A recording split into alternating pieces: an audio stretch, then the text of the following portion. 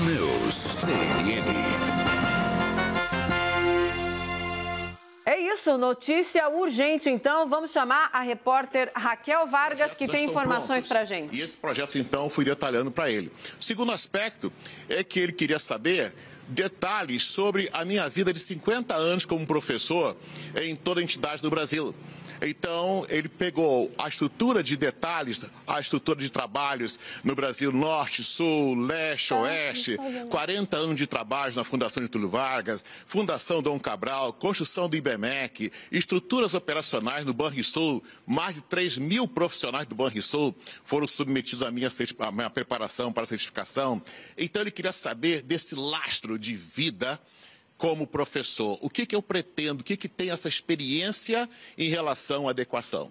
E o terceiro aspecto, ele perguntou como é que essa questão de detalhe acadêmico, de doutorado, de pós-doutorado, de pesquisa, de, de, mestrado, como é que esta, esta estrutura de inconsistências onde existem? Ele queria saber o que é isso. Então, eu expliquei a ele a questão de diferença entre defender uma tese e a diferença entre cursar os créditos do doutorado. A Universidade de Rosário, ela acolheu um grupo de, de, de professores da, da Fundação para fazer um curso de doutorado. E a, ao concluir o curso, a universidade entregou um certificado de conclusão de créditos. Este certificado de conclusão de créditos, a direção da universidade nos entregou. Então, foi feita uma formatura e esta formatura na Universidade Nacional de Rosário entregou aqueles que tinham concluído o curso de pós-graduação, doutorado na Faculdade de Estatísticas. O senhor quer dizer, então, que o senhor não sabe? Agora, aí prosseguindo, tem uma outra etapa. Aqueles que querem, além de terminar o curso de pós-graduação em doutorado na Faculdade de Rosário, que quiserem defender a tese, aí eles receberão o título de doutor para validade nas leis argentinas. Nas leis argentinas, nas leis argentinas. Ao ter essa característica, você tem que apresentar uma tese. E a minha tese teve como construção, o projeto de tese submetido à banca, foi as incertezas entre a evolução das empresas, desde a sua fundação no século XI, as incertezas, as instabilidades. Como que as empresas reagem em momentos de crise para manter-se vivas na estrutura da concorrência de mercado? E a banca falou, olha, a tese ela está com ponto de corte muito longo e aí ela está muito profunda. Faça adequações e faça as posições de registros para e reapresentar a tese. Esta foi a recomendação formal da banca. Ao terminar essa recomendação, eu precisaria voltar novamente ao Brasil, porque, um detalhe, todas as despesas de passagem aérea, manutenção e pagamento do curso foram despesas pessoais. Não havia bolsa. Não havia bolsa, não houve CAPES, não houve nenhuma empresa pagando. Era o custo operacional particular. Já com dificuldade financeira, pelo custo de manutenção, não mais voltei, porque houve dificuldade financeira pessoal em bancar novamente o aperfeiçoamento e a nova resubmissão. Esse dia eu não fiquei. Eu fiquei com o diploma de crédito concluído. Vocês que se quiserem, eu posso disponibilizar vocês, está disponível na Ascom. Fala com a Juliana que ela disponibilizará. Isto posto, a minha especialidade é professor na área de modelagens financeiras, derivativos. Eu tenho quatro livros como coautor na editora FGV. Um dos meus livros de especialidade é de coautoria é Gestão de Finanças Internacionais. Isso, mas sobre o doutorado, sim, sim, tá. sabia que... O doutorado, eh, o doutorado, repare, então repare, os créditos foram concluídos na escola para regulação. Eu defendi a tese ou não? Hein? Mas no currículo estava como doutorado. É, o, o, detalhe operacional é que, para efeitos de realidades locais, pelas leis argentinas, a, o registro não foi feita a defesa de banca. Agora, O curso de pós-graduação, com todas as notas, com todas as disciplinas concluídas, todas aprovadas, todas registradas, caderneta, frequências, toda a estrutura da secretaria da Universidade de Rosário estão lá com os papéis disponíveis. Ministro, o presidente falou sobre algum constrangimento, se o senhor continua no cargo ou não. O que, que ele conversou com o senhor sobre isso? Não, ele não falou de constrangimento, ele falou que confia nos projetos para ter um Brasil equalizado, com oportunidades para todos, e que brasileiros como eu, repare, eu, o que vocês têm de vida eu tenho mais que o dobro de vida de vocês de tempo de trabalho como professor. Meus filhos, meus filhos, minha filha mais velha tem 44 anos. Então, eu trabalho, minha filha é médica. É uma médica que teve muito esforço de trabalhar. Quando a minha filha, na sala de aula, no colégio, com 11 anos, perguntou lá no Rio de Janeiro, e a professora perguntou, Jorginho, o que você quer, quer, que você quer ser na vida? Com 11 anos. Mariazinha, aí Jorginho, eu quero ser engenheiro. Mariazinha, fala uma coisa. Aí minha filha, minha filha, falou, é, professora, eu quero ser médica. A professora, o quê? Mas você é negra, que negócio de ser médico. Você sendo enfermeira já estará muito bom. Agora você imagina a covardia operacional de se ter um Brasil em que você agride uma criança. Minha filha ficou traumatizada, eu fui ao colégio e eu não agredi a professora, mas eu falei, eu transformei aquela agressão da professora para minha filhinha em um desafio para que ela pudesse ter do preconceito e do racismo uma forma de reagir. E ela hoje é uma doutora pesquisadora na, nos Estados Unidos, como médica, fez mestrado de sa saúde pública na Fiocruz, única aluna a fazer mestrado na saúde pública da, da Fiocruz no Rio de Janeiro, com notas A em todos os níveis. Então, o que, que falou o presidente? Por exemplo, falou, o presidente falou, doutorado resolvido. Aí vem a, o questionamento do mestrado. Olha só, mestrado, a gente lê muito, são muitos livros. Minha dissertação foi feita com base na minha bagagem. Eu passei, existe uma resolução do Banco Central, resolução 3158, 3158, a resolução de 2003. Houve no Brasil uma necessidade para que todos os profissionais de bancos tinham que ter certificação. Aí nasceram a certificação, antes, as primeiras certificações eram certificações Andima. Aí passou para Ambima, aí CPA 10, CPA 20, e o Banco Banrisul, Estado do Rio Grande do Sul, precisava de um professor que pudesse preparar os alunos para fazer o concurso e ter certificações. E assim, eu treinei, preparei e aprovei pelas minhas aulas sozinho mais de 3 mil profissionais do Banrisul. Isso, senhor... vamos, à, vamos à frente, vamos à frente. Então, com base na minha bagagem do tempo de Banrisul, o que, que eu fiz? Qual foi a minha dissertação de mestrado? Baseado na minha vivência no Banrisul. Ah, então, no mestrado da Fundação Júlio Vargas, na Escola Brasileira de Imitação Pública, eh, e, uh, Pública e Privada, eu desenhei Banrisul, Banrisul, a resistência do banco, do, da, da governança ao IPO. E os textos, quando você escreve, você lê muito, quando você lê muito livro, você vai escrever, você tem que obrigatoriamente ter uma disciplina mental de quê? escrever, revisar e o que você citar, você tem que mencionar. Cuidado. E aí você fica mencionando, olhando, registrando e ponderando.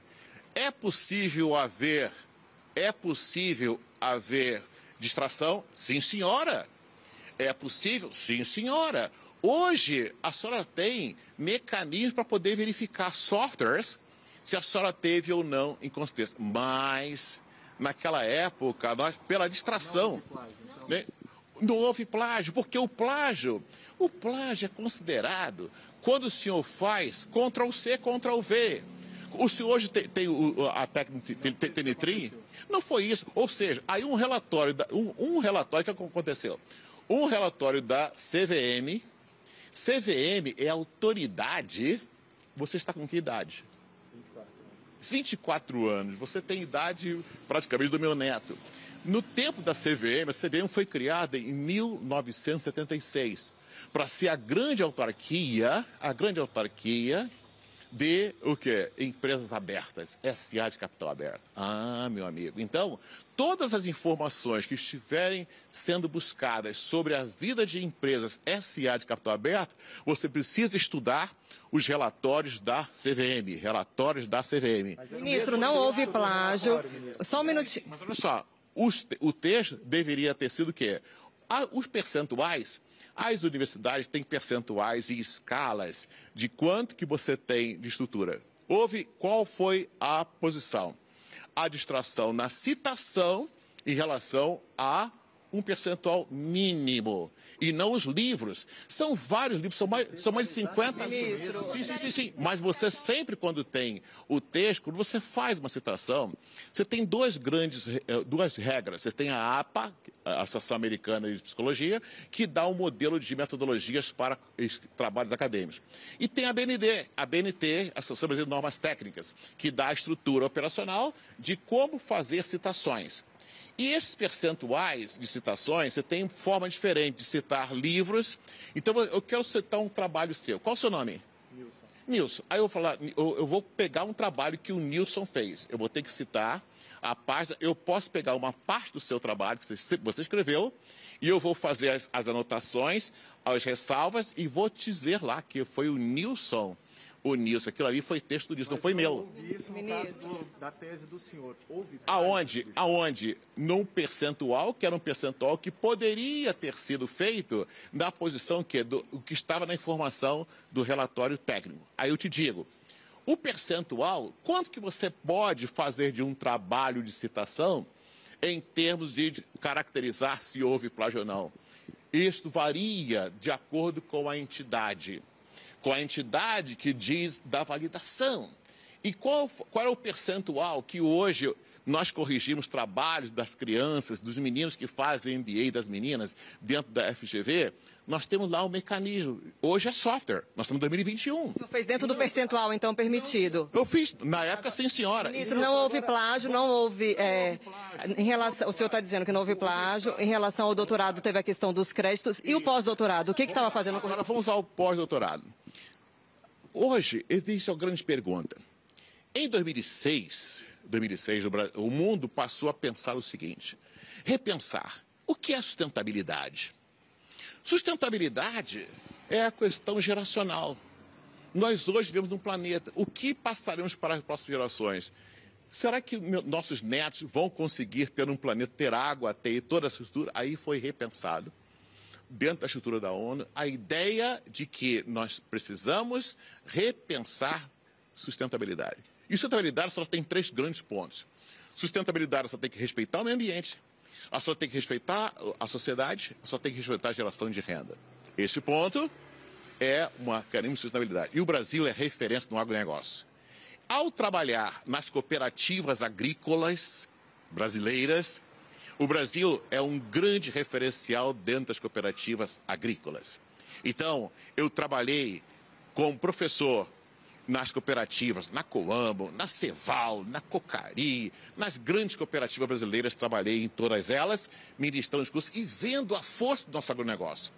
Inclusive, eu escrevi um livro, um dos meus livros, da, da editora FGV, com a autoria do negócio, é Gestão de Riscos Derivativos para o Agronegócio, para medir preço. Aí eu percebi que precisaria medir uma, responder uma grande pergunta, fazer uma pesquisa, fazer uma pesquisa para saber quando uma grande máquina agrícola ela aumenta a produtividade dentro de uma produção agrícola, esta maior produtividade agride ou não agride o meio ambiente? Com a adequação. Aí eu vou explicar o pós-doutorado. Aí nesse aspecto, aí que eu fiz? Fiz uma grande pergunta. Submeti essa pergunta para tentar fazer em uma, em uma empresa que pudesse ser o apoio operacional de mensuração. Aí eu fui consultar a empresa chamada Crone, que é a maior empresa de tecnologias agrícolas. A Crone, em sede Spell, na Alemanha. Essa empresa Crone tem uma base no Brasil, lá em Castro, no Paraná. Então eles disseram, olha, professor, se o senhor quiser apoio para poder fazer esta pesquisa, nós lhe daremos o apoio. E quem seria, e, e, e quem, fe, quem seria essa adequação? A adequação seria ter que ir lá na empresa na Alemanha, visitar a empresa, porque quando a senhora faz uma pesquisa, de campo, só tem que ir no local, anotar relatórios, conversar com pessoas e fazer anotações. Mas precisaria ter uma universidade para ter orientação. Eu não sei os processos metodológicos de pesquisa quando se faz dentro da realidade da Alemanha. E aí a Universidade de Wuppertal, a Universidade de Wuppertal, ao olhar o tema, falou, professor, respeitando a sua larga experiência no Brasil, mais ainda, o senhor ser uma pessoa voltada para o agronegócio e as máquinas são importantes para comparar essa sustentabilidade. E a Universidade de Wuppertal, ela trabalha muito próximo com o Instituto Wuppertal de Sustentabilidade, o maior centro, o maior centro operacional, o, o, o, é, o maior centro operacional. Então, a pesquisa foi concluída? Foi. Eu fui grandemente orientado pela doutora Brigitte Wolff, e pelo doutor Siegfried Maser, infelizmente falecido Siegfried Maser. Brigitte Wolff ela disse, ela então disse, faça isso, faça isso. Eu fui seguindo as orientações dela. O senhor recebeu algum título, algo recebi, por isso? O que, que eu fiz? A estrutura operacional da pesquisa, pós-doutorado, é uma estrutura que a senhora tem quanto a uma pesquisa feita. Não tem sala de aula, não tem eh, nota de uma disciplina, é a pesquisa, a orientação. Isto posto, isto posto foi caracterizado que na hora em que foi concluído o trabalho, tinha que ser feita a pesquisa registrada aonde? Num cartório, num cartório acadêmico. E no cartório acadêmico de Köln, a senhora tem lá a pesquisa completa registrada. Eu tenho a minha versão, posso te mostrar, posso polinizar, e é, essa pesquisa está lá registrada. Agora, o que, que eu fiz? Não, não, não, mas o que houve foi a me, me entenda, o que houve foi a pesquisa concluída. É verdade. Agora, o pós-doutorado, ele é um título de pesquisa. Agora, a pesqui... o título dos créditos, me repare, olha só. Se você olhar o documento de Rosário, você vai olhar créditos, recebi um diploma de Rosário de que créditos de pós-graduação e doutorado concluídos. Ah, tá bom. Ministro, só uma última pergunta, está vivo na cena. Só me... O senhor se teve reunido com o presidente Jair Bolsonaro, saiu o nome no Diário Oficial da União e houve essa polêmica no fim de semana. O tá. senhor é ministro? O senhor está ministro? Sou ministro, sou ministro, tem trabalhos agora e agora fica até de noite, sabe para quê? Para tentar corrigir as, os ajustes de Enem, de SISU, das demandas grandes. Nós temos agora, tem que ir lá. Agora, vamos comentar agora. Última pergunta para o senhor. O senhor se arrepende de alguma é, dessas inconsistências? O senhor tem algum arrependimento nessas inconsistências não, Não tem nenhum, nenhum arrependimento. É, são apenas correções em relação que a texto. Agora, vamos falar uma coisa? Assume, ministro, só uma importante. Uma Assunção é protocolo, é protocolo do, do Planalto. Mas o Planalto deu alguma Não, não, não, vamos aguardar. Tá bem? Não falou nada sobre isso. O presidente falou que o senhor continua. Quando o senhor ele, ele, ele, Nós conversamos sobre os projetos. Tá bem? Meninos, boa noite, obrigado, hein?